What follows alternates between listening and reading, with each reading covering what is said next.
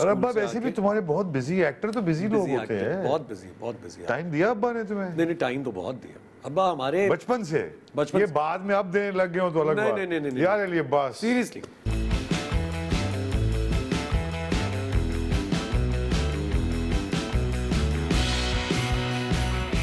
आप ये आपका भी काफ़ी इधर उधर चलते हुए फिर आपको कहीं ख्याल आया कि अब्बा नहीं चाहते थे। अब्बा का सबसे बड़ा जो मेरे ये मुझे हैरत अंगेज है कि तो अब्बा ने ज़्यादा परवरिश दादे दादी से करवाई। हाँ हाँ हाँ। वो इसलिए क्योंकि मेरी जो सबसे छोटी पुप्पो हैं हाँ।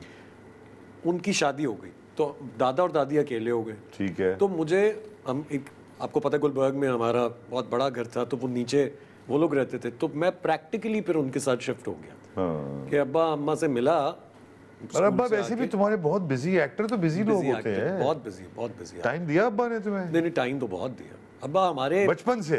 बचपन ये बाद में अब देने लग गए हो तो अलग नहीं, बात। नहीं, नहीं, नहीं, यार अली अब्बास सीरियसली Serious? मैं आपको नहीं, एक बात झूठ नहीं चाहता बोलो मैं तो। कह रहा हूँ बिल्कुल सच बोल रहा हूँ मैं तो मैं मेरी को बात छुप ही नहीं सकती नहीं बता दो यार बात में कुछ अब्बा अब्बा हमारे जो है ना वो एक ओवर कॉम्पनसेशन देने वाले इंसान। हाँ। ओवर कॉम्पनसेशन कि आप खुद कहते हैं कि बस रहने दें।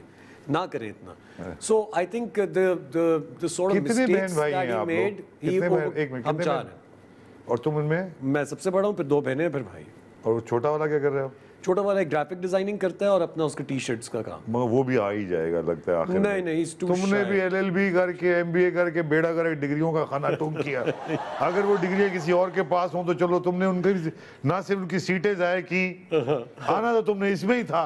आना था लेकिन अब्बा की शराइत थी कि जब तक तुम पढ़ाई मुकम्मल नहीं करोगे तब तक इस तरफ़ नहीं आ सकते हो। अच्छा। तो मुझे इस वजह से ये डिफरेंट जंप्स लगानी पड़ी। यानी कि उन्होंने डिले किया जितना जितना डिले हो सकता था। क्योंकि उनको पता था कि एक्टर की ज़िंदगी बहुत। एक इनसिक्योर तरीन ज़िंदगी नहीं और सर मुझे लगता है इनसिक्योर के अलावा it's an inconsistent life of course it's very inconsistent 100% so वो I think that was his fear obviously I miss और अब आप तो बन चुके हैं तो ये फियर सही था ना उनका? उनका फेयर सही था बिल्कुल सही था। बिकॉज़ जैसे मैंने आपको बताया स्टार्ट में कि दो ढाई साल तो मेरे पास काम ही नहीं था। डायरेक्टर्स मुझे बुली करते थे सेट पे।